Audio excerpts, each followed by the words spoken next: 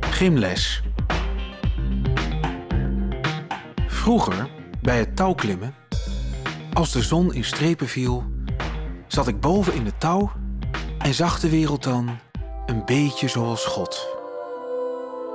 Ik zag de klasgenootjes beneden op de grond en zwaaide minzaam met mijn hand.